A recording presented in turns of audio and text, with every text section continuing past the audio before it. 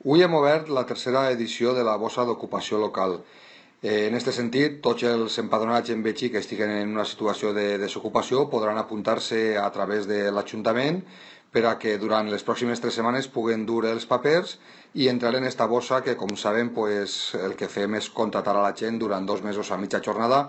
normalment en treballs de la brigada d'obres, però també en la biblioteca, en serveis socials o així mateix a les dependències municipals.